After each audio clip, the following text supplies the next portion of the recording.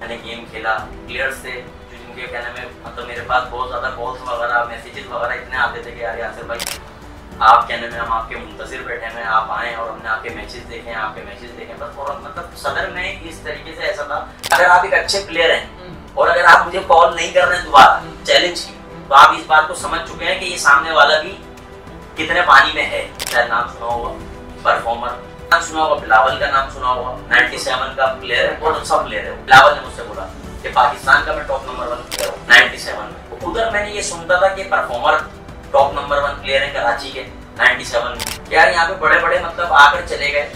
काशिफ यगामी उन्होंने हमसे बात करना चाहिए बिलावल के लिए। हमने उनको मना कर दिया, शेख साहब आए, उनको हमने मना कर दिया और ऐसे और वैसे आके हमने किसी की रखनी नहीं। जो पूरे कराची, आल कराची के अंदर अनाउंसमेंट हुआ हुआ था कि बिलावल वर्सेस एफ़ और मैं ये समझता हूँ कि इंसान हक का बोले सच बोले और हक पे रहे। चीज़ें ऐसी हैं जो मतलब पूरे पाकिस्तान को इस बात का चैलेंज है, जो चीज़ें मतलब मैंने क्यों के साथ करी नहीं है। अगर मैं आपसे ये बात बोलूँ कि मैं मतलब आपको हर दफ़ा में आयूरी के ऊपर, यशरो के ऊपर या हवाजाकी के ऊपर, क्रिश के ऊपर बैठे हुए करेक्टर के ऊपर मैं हैमर का क्रॉस मारूँगा। तो ये चीज़ आप मुझे, मैं चैलेंज आपको कर रहा हूँ पाकिस्तान में।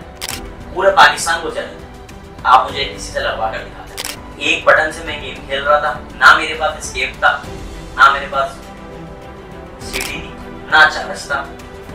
मैं कुछ भी मतलब और क्यू के पास फुल ऑल ओवर गेम उसका चल रहा था। तो मैंने उसको, मेरे ख्याल से आई थिंक मेरा मैच हुआ था सात या आठ, पंद्रह पे आठ, बारह पे या सात, बारह पे। मैंने उसको इस तरीके से आई थिंक मुझे याद नहीं है। आठ पे हुआ था, नौ पे हुआ था, सात पे हुआ था, लेकिन मैंने उसको मैच को बीट कर दिया।